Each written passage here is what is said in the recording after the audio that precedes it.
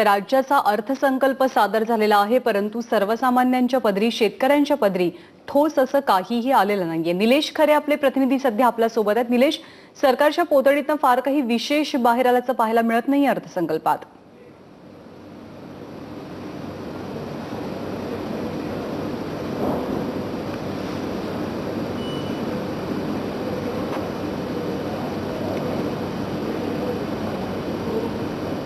अर्थमंत्री अजित पवारांनी आघाडीचा अर्थसंकल्प सादर केला आहे. आघाडी सरकारचा हा शेवटचा अर्थसंकल्प. त्यामुळे त्यांच्या पोतडीतनं काहीतरी चांगलं बाहेर येईल अशी अपेक्षा होती परंतु तसं काही झाल्याचं दिसत नाहीये. विधानसभा निवडणुकांच्या पार्श्वभूमीवर अखेरीस महाराष्ट्र सरकारचा अर्थसंकल्प जाहीर झाला आहे आणि अपेक्षेप्रमाणे व्यापारी वर्गाला मोठ्या सवलती या महाराष्ट्र सरकारकडून दिल्या जात आहेत अशा स्वरूपाचं चित्र आहे. सरकारला भीती आहे की व्यापारी जर खुश राहिला नाही तर पुन्हा एकदा जनता ही विरोधात जाईल. या संदर्भात चर्चा करण्यासाठी विरोधी पक्षपासून सुरुवात करूयात. अर्थसंकल्प जाहीर झाला. व्यापाऱ्यांना सवलती दिल्या अशा स्वरूपाचं चित्र दिसतंय. अनेक सवलती ही व्यापारी वर्गासाठी देतोय.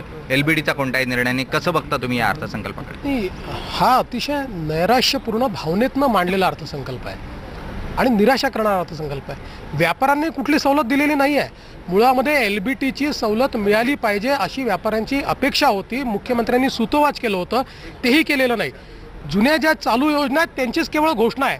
आणि आर्थिक शिस्त देखील कुठेही याच्यामध्ये दिसत नाही. आज एफ आर बी एम ॲक्टप्रमाणे तेराव्या वित्त आयोगाला जे अंडरटेकिंग दिलं आहे त्याप्रमाणे आम्हाला आमची महसुली तूट शून्यावर आणायची होती. ती चार हजार कोटींनी वाढलेली आहे. आणि केवळ चार हजार कोटींनी वाढली आत्ता दिसते ती अजून वाढणार आहे. आपण जर बघितलं तर अनुत्पादक खर्च प्रचंड मोठ्या प्रमाणात वाढतो आहे आपण भांडवली खर्चातनं जर तीस तीस टक्के खर्च हा अनुत्पादक खर्चावर करायला लागलो तर कशा प्रकारे राज्य पुढे जाईल? एकूणच जर आपण बघितलं तर सर्वसामान्य माणसांकरता याच्यात काहीच नाही. राज्याला पुढे नेण्याकरता राज्यासमोरची आव्हानं काय आहेत? मानवी विकासाच्या निर्देशांकाचा नवीन अहवाल सरकारनं मांडला. त्या अहवालामधले चॅलेंजेस काय आणि त्याच्यावर उत्तर काय? या अर्थसंकल्पात यायला हवं होतं. ते देखील आलेलं नाही. विभागीय असमतोल जे आहे केळकर समितीचा अहवाल दाबून ठेवला आणि विभागीय असमतोल दूर करण्याकरता काय उपयोग आम्ही काय उपाययोजना करू? काही याच्यामध्ये सांगितलेलं नाही. आणि त्यामुळे राज्यासमोरच्या प्रमुख प्रश्नांना बगल देत हा अर्थसंकल्प मांडला आहे. राज्यासमोरच्या प्रमुख प्रश्नांना बगल देत आणि सर्वसामान्यांची निराशा करणारा असा अर्थसंकल्प. म्हणून देवेंद्र फडणवीस या अर्थसंकल्पाचं वर्णन करताय. स्वतः अर्थमंत्री तुम्ही राहिलात. तुम्ही कसं बघताय? एक तर असं आहे की देवेंद्रजींनी या ठिकाणी जे सांगितले की नैराश्याच्या भावनेतून आम्ही अर्थसंकल्प मांडला. नैराश्य कशासाठी येईल? एखाद्या निवडणुकीमधला जे पराजय का आमच्यासारख्या खंबीरपणाने काम करणाऱ्या कार्यकर्त्यांच्यासाठी निराशाजनक असू शकत नाही. लोकशाहीमध्ये लोकांचा कौल मानणं ही सुद्धा एक महत्त्वाचा भाग आहे. तो आम्ही कौल मोकळेपणाने मानलेला आहे. आजचा मांडलेला अर्थसंकल्प जर का आपण पाहिलं तर या विकसित असलेल्या महाराष्ट्रात पुरोगामी महाराष्ट्रामध्ये जे जे काय आपण अपेक्षा धरून वाटचाल करण्याचा प्रयत्न करतो आहोत या प्रत्येक क्षेत्राला न्याय देण्याचा त्यानिमित्ताने निश्चितपणाने प्रयत्न केलेला आहे. शेवटी कुठल्याही राज्याची प्रगती हे आपण अनेक वेळेला मोजत असताना मानव विकास निर्देशांक दरडोई उत्पन्न हे कशा प्रमाणावरती किती वाढलं आहे हे सुद्धा त्याच्या त्या दरवाढीचं वृद्धीचं एक महत्त्वाचा गाभा मानला जातो. आज जर का आपण पाहिलं तर मानव विकास निर्देशांक हे अभियान मी ज्यावेळेला पहिला अर्थसंकल्प मांडला त्यावेळेला आपण हातामध्ये घेतलं होतं. आज आपण दरडोई उत्पन्नामध्ये सुद्धा वाढ झाली. एस डी आयमध्ये सुद्धा आज फरक झालेला आपल्याला त्यानिमित्ताने पाहायला मिळतो आहे थेट परकीय गुंतवणूक देशामध्ये सर्वाधिक महाराष्ट्रामध्ये झाले चित्रसुद्धा आपल्याला पाहायला मिळतं आहे पण एवढ्यावरती थांबून आपल्याला चालणार नाही. एकंदरीत जागतिक मंदीच्या पार्श्वभूमीवरती देशभरामध्ये सुद्धा जी काय आर्थिक मंदी होती त्या पार्श्वभूमीवरती महाराष्ट्रातली आर्थिक स्थिती निश्चितपणाने मजबूत आहे. त्याला शिस्तीचं वळण देण्याचा प्रयत्न केला जातो आहे आणि त्याचबरोबर ती अधिक उद्योगाला चालना कशा पद्धतीने प देता येईल व्यापारसुद्धा कसे वाढेल अधिक आर्थिक गुंतवणूक उलाढाल कशा पद्धतीने होईल याच गोष्टीवरती तो भर ठेवण्याचा प्रयत्न नक्की केला जातो आहे आणि मला असं वाटतं वेगळ्या आत्मविश्वासाने निवडणुकीतला मी सांगितलं की जय पराजय हा भाग आपण बाजूला ठेवूया. पण वेगळ्या आत्मविश्वासाने आता आम्ही या लोकांच्या समोर चालण्याचा निश्चितपणाने प्रयत्न करतो. आजचा अर्थसंकल्प हा त्याच्यातलं धोतक आहे. ग्रामीण विकासाला चालना देण्याच्या दृष्टिकोनातून जिल्हा नियोजन मंडळ असेल त्याला दिलेली भरी वाढ किंवा वेगवेगळ्या ज्या काही योजना आहेत या प्रत्येक योजनेची कसोशीने अंमलबजावणी करणं याच गोष्टीवरती पुढच्या कालावधीमध्ये भर ठेवण्याचा प्रयत्न केला देवेंद्रजी थेटपणे म्हणताय आर्थिक मंदी होती देशात होती जगात होती आणि त्याचा परिणाम होता आणि त्याही परिस्थितीमध्ये राज्य खूप चांगलं करत आहे जो काही दरडोई उत्पन्न असेल माधव निर्देशांक असेल तो चांगला आहे. त्यात काही चुकीचं असं काही नाही आहे तुम्ही कसं बघता? त्यांचा एक बघा आपण ही जी मंदी आहे किंवा ज्या काही गोष्टी आहेत त्या सगळीकडेच आहेत. निसर्गाची अवकाळ सगळीकडेच आहे.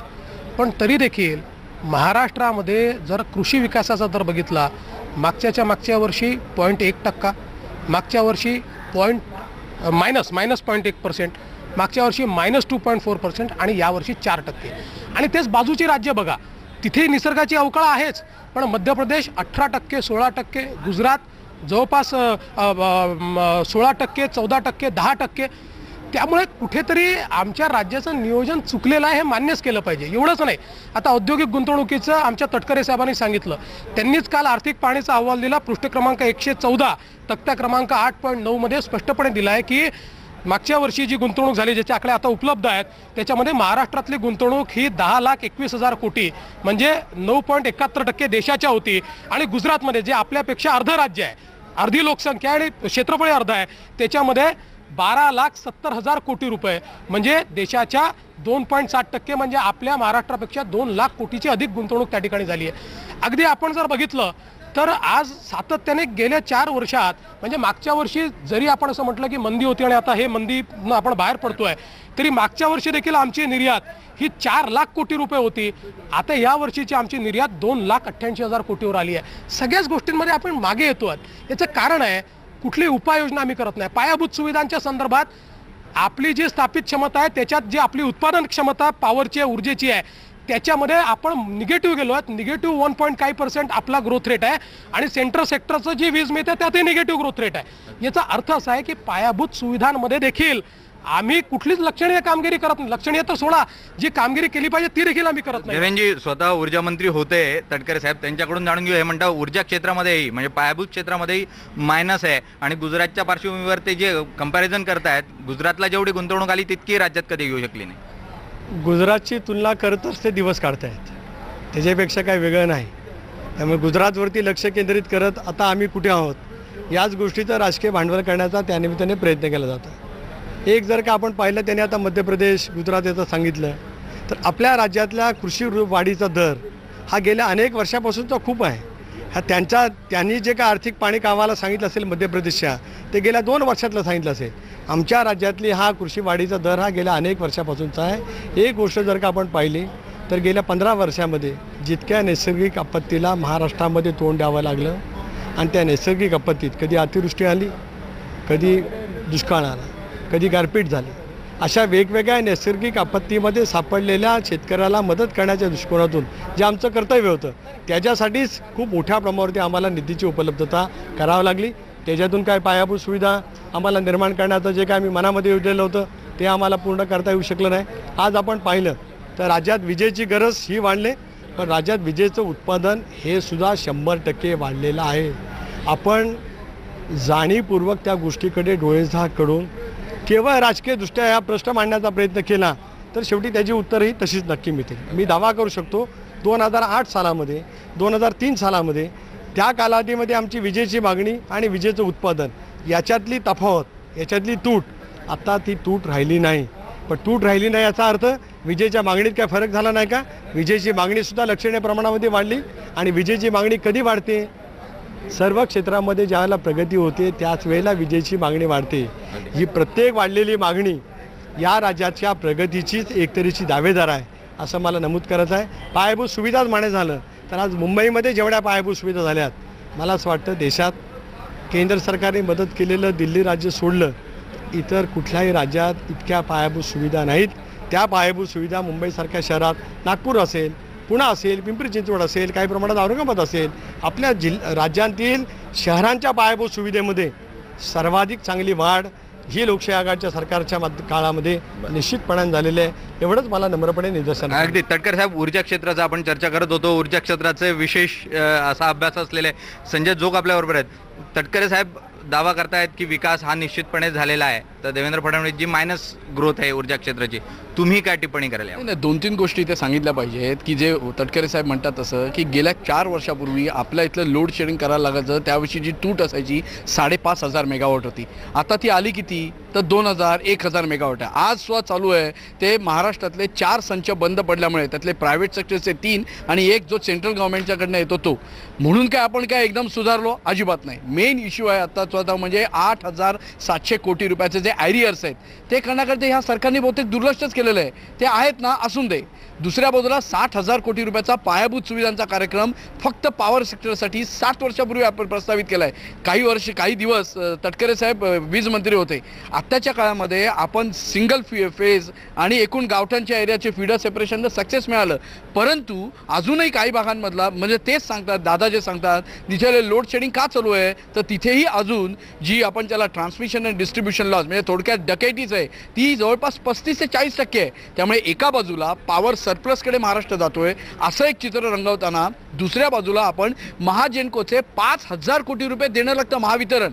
त्याच्याबद्दल कोणी बोलत नाही. दुसऱ्या बाजूला आपण पंचवीस लाँग टर्म हे पॉवर पर्चेस ॲग्रीमेंट केलेले आहेत. पण आत्ताची परिस्थिती बघता जर का रेट आपण तीन रुपये आठ पैसे जी आता मार्केटमध्ये मिळते त्या रेटवर जर आपण भर ठेवणार असू मग एनरॉनसारखी महागडी वीज मग चार रुपये चाळीस आणि पाच रुपयाला कसे घेणार? म्हणून तो प्रोजेक्ट आता बंद आहे. म्हणजे ह्यांच्या घरी देणे अशी सुखाची बाग आहे.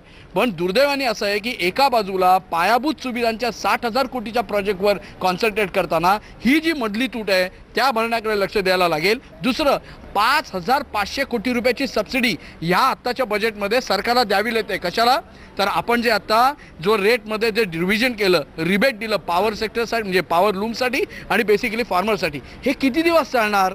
ही जी बेसिकली जी सबसिडाईज ड्रिव्हन जी पॉलिसी आहे ती कुठेतरी बदलावी लागेल. आणि तिसरा फक्त महत्त्वाचा ज्याचा तू उल्लेख केला सेंट्रल सेक्टरकडनं जी आपण पॉवर घेतो म्हणजे N T P C nuclear power corporation N H P C basically हे करत असताना आपली जी प्रस्तावित जी आता प्रपोज साधारण बारा हजार मेगावॅटचे प्रस्तावित प्रोजेक्ट आहेत महाजेनकोचे ते आपण लवकरात लवकर आणि कॉम्पिटेटिव्ह पद्धतीने करणार का याकडे आता लक्ष द्यावं लागेल. अगदी त- तटकरे साहेब ते म्हणतात की पंचवीस एमओयूज आपण साईन केले सहा सात वर्ष झाले. त्यातले किती प्रोजेक्ट आपल्याकडे आले आपण किती सुरू करू शकलो हा मूळ प्रश्न या ठिकाणी निर्माण होतो एक तर ज्या वेळेला प्रकल्प आपण सामंजस्य करार केला त्याच्यावरती टीका टिप्पणी केली.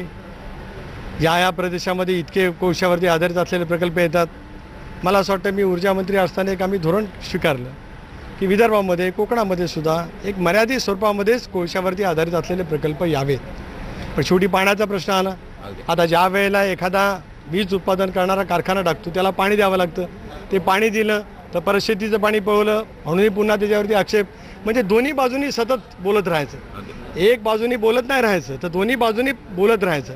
एक गोष्ट आता या ठिकाणी संजय जोग साहेबांनी सांगितली ती अत्यंत आवर्जून लक्षात घेण्यासारखी आहे. आता एम आर सी मागाशी देवेंद्रजींनी या ठिकाणी उल्लेख केला की विजेचे दर वाढलेले आहेत. आता विजेचे दर वाढवणं आता सरकारच्या हातात नाही. विद्युत नियामक मंडळाची स्थापना करण्याचा निर्णय युतीच्या कालावधीमध्ये झाला. उलट त्या कायद्यामध्ये असा आहे की अपवादात्मक स्थितीमध्येच त्याच्यामध्ये हस्तक्षेप करता येतो. मला अभिमान वाटतो की दोन हजार नऊमध्ये मुंबई उपनगरामधला ज्यावेळेला विद्युत नियामक आयोगाने निर्णय दिला त्यावेळेला सत्तावीस लाख विद्युत ग्राहकांना दिलासा देण्यासाठी राज्य सरकारकडनं स्थगिती देण्याचा आदेश ऊर्जा मंत्री या नात्याने मला काढता आला. सांगण्याचा मतितार्थ एवढाच आहे की आपण त्याही क्षेत्रामध्ये प्रगती केली पण मधल्या कालावधीमध्ये जे आपल्याला विजेच्या दरामध्ये सवलत दिली आपण म्हणजे सवलत नाही दिली दर तेवढेच ठेवले पण त्याच्यातला जो फरक आहे तो राज्य सरकारने भरण्याचं ठरवलं त्यामुळे आठ हजार कोटी रुपये आपल्याला द्यावे लागले.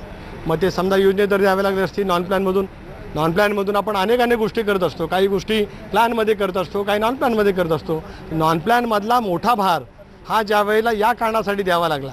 आता एक गोष्ट खरी आहे की सबसिडी ड्रिव्हन तुम्ही किती का आपलं. स्वतःचं प्रोजेक्शन करणार आहात? पण ज्या वेळेला अडचणीची स्थिती निर्माण होते ज्या वेळेला सामान्य माणूस सामान्य ग्राहक शेतकरी हा ज्या वेळेला अडचणीमध्ये येतो त्यावेळेला त्याला मदत करणं हे कुठल्याही कल्याणकारी सरकारचं काम आहे. त्या भूमिकेतून आम्ही ते करण्याचा प्रयत्न नक्की केलेला आहे. त्या आपत्तीतून तो सावरला. तो सावरला तर राज्य सावरेल. आणि त्याला सावरण्याचा प्रयत्न हा त्या निमित्ताने मला असं वाटतं केला जातो. सर्वसामान्य नागरिकासाठी शेतकऱ्यासाठी म्हणून सबसिडीचं धोरण आणि त्यातून आठ हजार कोटी रुपयांचा बोजा. यात चुकलं काय सरकारचं? पहिली गोष्ट अशी की सबसिडी द्यावी का लागते आहे? ती यांच्या अकार्यक्षमतेमुळे द्यावी लागते आहे. आपण बघा देशभरामध्ये सर्वात कमी पी एल एफ म्हणजे उत्पादन क्षमता आणि उत्पादन हे महाराष्ट्राचं आहे. आम्ही प्लॅन्ट अवेलेबिलिटी फॅक्टरवर आमचा प्लॅन्ट लोड फॅक्टर आहे प्लॅन्ट अवेलेबिलिटी फॅक्टर हा नव्वद टक्के आणि प्लॅन्ट लोड फॅक्टर साठ टक्के म्हणजे शंभर मेगावॅटचा जर आमचा प्लॅन्ट असेल तर पंचावन्न फक्त मेगावॅट वीज आम्ही तयार करतोय. तुमचे स्थापित चार्जेस तर तेवढेच आहेत स्टँडिंग चार्जेस तुमचे तेवढेच आहेत. तुम्ही जर पंचावन्न टक्के एफिशियन्सीनी एखादा उद्योग चालवाल तर तो उद्योगाची परिस्थिती अशीच होईल. आपण जर याच्यामध्ये ही एफिशियन्सी जसे प्रायव्हेट आपल्या इथले जे लोक आहेत ते नव्वद टक्के ब्याण्णव टक्के अठ्ठ्याण्णव टक्के एफिशियन्सीनी चालवत आहेत. देश देखील अठ्ठ्याहत्तर टक्क्याने चालवतोय आणि आपण कमीने चालवतो पण त्यांचं जर केलं असतं तर सबसिडी द्यायचीच गरज पडली नसती कारण विजेचे भावच कमी झाले असते. दुसरी गोष्ट अशी शेतीच्या सबसिडी संदर्भात वारंवार यांचे फिगर्स कसे खोटे आहेत? आणि आपली जी तूट आहे जे लॉसेस आहेत ते लॉसेस कमी दाखवण्याकरता जे नॉन मीटर्स शेतीचे कनेक्शन आहेत त्याच्यावर कसा यांनी जास्तीचा भार दाखवला? बिलांसहित आम्ही दाखवलाय. लाख लाख रुपयाचे बिलं हे त्या ठिकाणी त्यांच्या नावाने काढले आणि ओव्हरऑल चोरी लपवण्याचा प्रयत्न यांनी केला. एफिशियन्सी वाढवली असती. तर भाव कमी करता आले असते ते यांनी केलं नाही. पण देवेंद्रजी एफिशियन्सीचं ज्या वेळेला आपण बोलतो हे प्रकल्प चाळीस चाळीस पन्नास पन्नास वर्ष जुने आहेत. आणि मग त्यावेळेला ते एफिशियन्सी कसे देऊ शकतील? हा मुद्दा मी. सांगतो सांगतो. अगदी एक मिनिट त्याचे उत्तर देतो. आपल्याच सोबतचे ज्यांचे संच आहेत आणि हे अजय मेहतांना मी स्वतः या सभागृहामध्ये दाखवलं होतं. आपल्याच सोबतचे ज्यांचे संच आहेत ते अठ्ठ्याण्णव टक्के एफिशियन्सी देतात ते शहाण्णव टक्के एफिशियन्सी. देतात. आणि एक मिनिटं त्याच्याही पलीकडे जाऊन सांगतो. दुसरं आता आपल्यावर येणारं संकट काय आहे? आज देशामध्ये प्रायव्हेट लोकांनी वीज निर्मिती केली. त्यांना पाच कोटी रुपये एका मेगावॅटचा निर्मिती खर्च आला. आणि यांची जी महानिर्मितीचा आता निर्मिती खर्च आहे तो साडेसात कोटी रुपये आहे. म्हणजे निर्मिती खर्चामध्ये म्हणजे जी काही स्थापित क्षमता आहे पर मेगावॅट तोच जर पन्नास टक्क्यांनी अधिक असेल तर स्वस्त वीज तयार कशी होईल. याच्यात भ्रष्टाचार आहे त्याच्यामुळे हे सहन करावं लागतं. हे थेटपणे म्हणतायत की स्थापित क्षमता वाढवत असताना एका मेगावॅटला पाच कोटी रुपये हं, या स्वरूपामध्ये जे गणित आहे तिथे जास्तीचा खर्च दाखवला जातो आणि त्यामुळे विजेचा ऊर्जेचा भावही वाढतो एक असं आहे जे देवेंद्रजींनी सांगितलं हे नवीन प्रकल्पाच्या संदर्भात ते सांगत आहेत महत्त्वाचा मुद्दा असा आहे की चाळीस पन्नास वर्षापूर्वी पारस परळी भुसावळ किंवा आपलं खापरखेडा चंद्रपूर हे वेगवेगळे प्रकल्प कार्यान्वित झाले. त्याच्यामुळे विजेच्या उत्पादनाच्या क्षेत्रामध्ये शेजारच्या राज्यांपेक्षा महाराष्ट्र एकोणीसशे पंच्याण्णवपर्यंत अग्रेसर. त्याच्यानंतर काय झालं काय नाही याच्या आता तपशिलात जाणं म्हणजे हे काय राजकीय वादविवादासाठी आपण या ठिकाणी बसलेलं नाही आहोत. हे जे काही जुने प्रकल्प आहेत त्यांची स्थापित क्षमता पुन्हा प्रस्थापित करणं पुनर्स्थापित करणं या गोष्टीवरती आम्ही भर ठेवला. म्हणूनच आज परळी असेल पारस असेल खापरखेडा असेल इथे जे काही प्रकल्पाचं विस्तारीकरणाचं काम दोन हजार आठ नऊमध्ये ज्याचा उल्लेख संजय जोगनी या ठिकाणी केला ते ते सगळे आम्ही विस्तारीकरणाचे मजबूतीकरणाचे प्रकल्प हातामध्ये घेतलेत. त्याची कामं एका बाजूला नक्की सुरू आहेत. काही अडचणी जरूर आल्या. मर्यादित कालखंडामध्ये ते प्रकल्प पूर्ण होऊ शकले नाही हे मी नाकारत नाही. ते पूर्ण करण्याच्यावरती भर हा नक्कीच आहे. पण आज आपण पाहिलं तर आज विजेची मागणी ही सुद्धा खूप मोठ्या प्रमाणावरती वाढली आणि विजेची तूट ही जवळपास मागणी आणि पुरवठा याच्यातली तूट जवळपास आपण संपुष्टात आणली. आता एक गोष्ट नक्की आहे की काही वेळेला काही गोष्टी नैसर्गिक आपत्तीतून येतात. काही प्रकल्पाचे संच काही ठिकाणी बंद पडले किंवा काही खाजगी. आता जे नवीन आहे ज्याचा उल्लेख यांनी केला याच्यातील तीन नवीन खाजगी प्रकल्पाचे सुद्धा संच बंद पडले. आता का पडले का नाही त्याची कारणं एक वेगळी राहू शकतात. याचा अर्थ केवळ शासकीय प्रकल्प किंवा संच बंद पडले असं नाही तर खाजगी ज्यांनी खूप प्रावीण्य दाखवत खूप उद्योगशीलता दाखवत ज्यांनी प्रकल्प उभे केले त्यांचे आता नव्यांचे प्रकल्प सुरू झालेत. त्यांचे संच बंद पडू शकतात. पण याचा अर्थ त्याच्यावरती पांघरून घालण्याचा प्रयत्न नक्की नाही. चुकीचा असेल त्याच्या संदर्भात ती देवेंद्रजी, आपण ऊर्जा- म्हणजे पूर्ण चर्चा- उदाहरण द्यायचं एकच उदाहरण याच्यात द्यायचं आहे. मागच्या वर्षीचं जर आपण पी एल एफ बघितला पस्तीस वर्ष जुन्या संचाचा पी एल एफ सगळ्यात जास्ती आहे. एटी एट पर्सेंट आहे. आणि लेटेस्ट तीन वर्षापूर्वी सुरू झालेल्या संचाचा पी एल एफ साठ टक्के आहे. त्याच्यामुळे हे जे यांचं उदाहरण आहे ते चुकीचं आहे. मुळात पायाभूत सुविधा निर्माण करताना जे केलं पाहिजे ते यांनी केलं नाही. त्यात जो भ्रष्टाचार तो यांनी रोखला नाही. त्याच्यामुळे आज आपल्याला याला समोर जावं लागतं. अगदी. देवेंद्रजी आपण ऊर्जा क्षेत्रावर जास्त चर्चा करतोय आणि बजेटवर कमी दोन लाख एकाहत्तर हजार कोटी रुपयांचं कर्ज आता दिसत आहे आणि निवडणूक डोळ्यासमोर ठेवून अनेक घोषणा होतील. तीन लाख कोटींचं कर्ज राज्यावर असेल. कसा बघता हा बोजा? महाराष्ट्र महाराष्ट्र सरकारचा ज्या बजेटचा मला वाटतं बीजं जी आहेत ती लोकसभेची जी निवडणूक झाली त्याच्यातनं दिसत आहेत आणि जे प्लॅनिंग जे दिसतंय ते सगळं विधानसभा निवडणुकीकडे डोळे ठेवून झालेलं आहे. दिसतंय असं की व्यापारी वर्ग आणि शेतकरी यांना खुश ठेवण्यासाठी काही निर्णय घेण्यात आले पण त्यांचं इम्प्लिमेंटेशन हो करण्यासाठी निधी कुठनं येणार? हा मोठा सगळा प्रश्न आहे. आणि त्याचा मला वाटतं फटका सर व्यापारी आणि शेतकरी वर्गासाठी बेनिफिट्स देण्याचा प्रयत्न या अर्थसंकल्पामध्ये होताना पाहायला मिळतोय. पण पैसा येणार कुठून? दोन लाख एकाहत्तर हजारचं कोट कोटी रुपयांचं कर्ज आहे राज्यावर. एक मी सांगितलं की दोन लाख एकाहत्तर हजार कोटी रुपयाचं कर्ज आहे. परंतु जर काय आपण आपल्या राज्याचा जे डी पीचा दर पाहिला आणि त्याच्यात तुम्हाला किती कर्ज घेण्याची मुभा आहे नियोजन आयोगाने ज्या स्पष्ट गाईडलाईन दिल्यात त्या गाईडलाईनच्या आधारे तेवीस टक्क्याच्या आसपास आपण कर्ज घेऊ शकतो. आज आपण सतरा टक्क्याच्या आसपास आहोत. त्याच्यामुळे अजूनही आपल्याला कर्जाची उपलब्धी करता येऊ शकते. शेवटी राज्य प्रगतीवर न्यायचं असेल तर शेतकरी या या राज्यातला त्रेसष्ट टक्के पासष्ट टक्के लोक आज शेतीवरती अवलंबून आहेत. उरलेले जो काय घटक आहे तो व्यापार आणि वेगवेगळ्या उद्योग क्षेत्रावरती अवलंबून आहे. नवीन तरुण युवक आज शिकत आहेत त्यांची रोजगाराची साधनं आपल्याला साधनं निर्माण करण्याची आवश्यकता आहे. अशामुळे राज्यावरती किती कर्ज आहे याच्यापेक्षा राज्याच्या सर्वांगीण प्रगतीला तुम्ही काय पद्धतीने दिशा देतात ते मला असं वाटतं महत्त्वाचं आहे. तो दिशा देण्याचा प्रयत्न सरकार नक्की करते आहे आणि अजितदादांनी तो केला. आहे अगदी. अ, दावा की विधानसभा निवडणूक या डोळ्यासमोर ठेवून सरकारनं निश्चितपणे शेतकरी आणि व्यापारी वर्गाला खुश करण्याचा प्रयत्न केला आहे आणि सवलती ज्या आहेत त्या विशेष प्रमाणावर देण्याचा प्रयत्न आहे. पण यातून कर्जाचा जोबा बोजा हा वाढणार आहे आणि सरकार हे सातत्यानं या गर्तेमध्ये अडकत जाणार आहे हेही मान्य करायलाच हवं. निलेश खरे एबीपी माझा मुंबई. खरं तर निवडणुका तोंडावरती असल्यामुळे आजच्या अर्थसंकल्पातनं खूप मोठं काहीतरी बाहेर येईल अशी अपेक्षा सर्वसामान्यांना होती परंतु पुन्हा एकदा सरकारचा धोरण लकवास या अर्थसंकल्पानं अधोरेखित केलाय. ना सिंचन क्षेत्रासाठी ना कृषी क्षेत्रासाठी कोणतीही ठोस तरतूद करण्यात आलेली नाहीये आजच्या अर्थसंकल्पात. एक छोटासा ब्रेक घेतो यानंतर बघत रहा दुपारच्या बातम्या.